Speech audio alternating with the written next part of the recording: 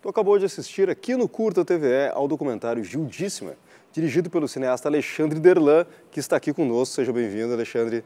Muito obrigado. Bem. Prazer estar aqui com vocês. Bom curta que nasce de uma pesquisa tua a partir de uma outra pesquisa. É um trabalho já bem grande, né? É, bastante. Acho que a pesquisa ela tem uma função muito importante no, no, no cinema e não apenas para o documentário, como também para a ficção.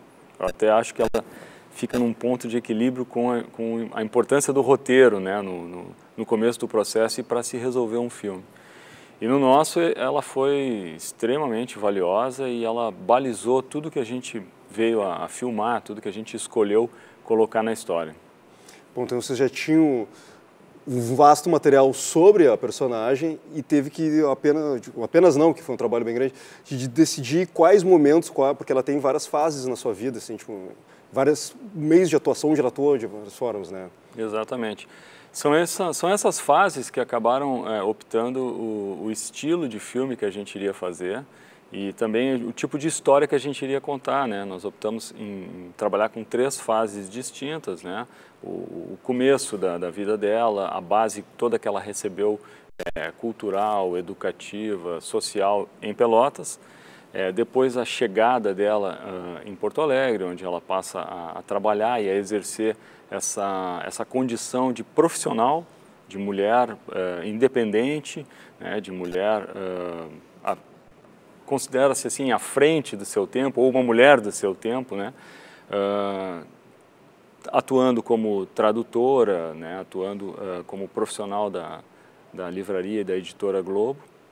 Depois a gente tem um, um outro momento que é, é, quando ela se engaja politicamente né, e atua e passa a ser também, ao mesmo tempo, uh, a pessoa que ditava moda na cidade, né, muito uh, admirada né, e reverenciada por pessoas uh, do, do, do, cunho do Érico Veríssimo, do Mário Quintana. Né.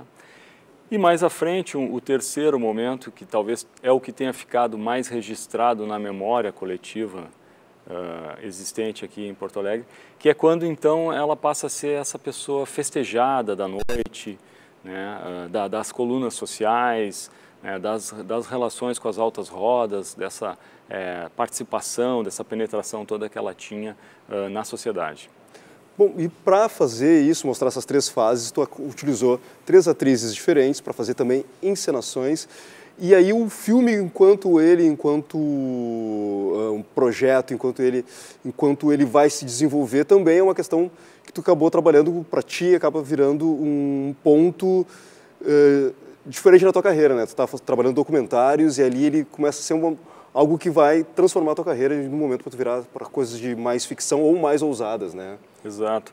A gente optou já é, desde o início do projeto, né, que esse não seria um, um documentário clássico e que a gente, para uh, é, poder representar alguém do, do, do, porte, da trajetória da, da Gilda Marinho, a gente teria que inovar, teria que fazer um filme ousado, um filme diferente. Né, e então se optou por trabalhar com uma linguagem como se fosse um grande ensaio visual e poético né, acerca das memórias existentes sobre a Gilda. O filme é muito sobre as memórias existentes, existentes sobre a filme, sobre a Gilda, desculpa, mas baseado em pesquisa. Então a opção foi realmente assim uh, se construir três momentos distintos através de três atrizes, né, representando isso, duas muito parecidas fisicamente com ela e a Débora Finocchiaro é, representando essa primeira fase, essa fase uh, mais profissional e tal. E com isso a gente acabou trazendo uh, projeções, né, reconstituições e abrindo uh, talvez para um universo menos uh, didático, menos clássico assim do documentário e mais sensorial, né, com a intenção de, de criar realmente assim é, alguns universos paralelos e, e algumas encenações é, que também remetesse um pouco a, ao teatro, que remetesse um pouco às artes assim e, e, quebrasse uma atuação, por exemplo, naturalista. A gente não tinha esse objetivo, justamente porque a Gilda por si só já foi tão representativa e tão imagética, né? Nos seus figurinos, nos seus trejeitos, na sua educação, né? nas suas possibilidades de se comunicar, já que ela entendia e falava até cinco idiomas, que a gente queria com isso criar um personagem que conseguisse transcender talvez uh, aquele olhar provinciano que também foi colocado sobre ela durante muito tempo. Bom, isso, esse bidismo também no começo do filme ele tem bem, deixa bem claro isso, aquele momento onde até se pensar como se monta ela enquanto personagem, se discute a memória dela e as relações, o que ela realmente era, né? Uma maneira também de contar o que ela foi, né? É, e foi uma maneira também que a gente acabou optando de apresentar né, a, toda aquela situação e trabalhar um pouco com uh, esse universo do, do, do, filme dentro do filme e tal, que, que na época era algo assim que, que me, me interessava né, e que acho que ajudava a, a mostrar de certa forma, tudo o que iria acontecer ao longo dessa projeção. Bom, falando em projeção, essas projeções que são utilizadas dentro do filme, que já é uma metalinguagem bem interessante, elas acabam indo para a rua e também acabam ressignificando para quem é de Porto Alegre o olhar sobre a própria cidade também, trazendo essas memórias para o mobiliário da cidade, para os prédios da cidade, né, para a arquitetura. É, eu acho que é uma homenagem que a gente faz é, para a cidade e que a cidade acaba prestando também para a Gilda, que foi uma grande representante de Porto Alegre, não importa se ela nasceu em outra cidade, ela se fixou aqui, ela morou a vida dela inteira no Clube do Comércio aqui em Porto Alegre, passou a ser uma figura muito notória do centro da cidade.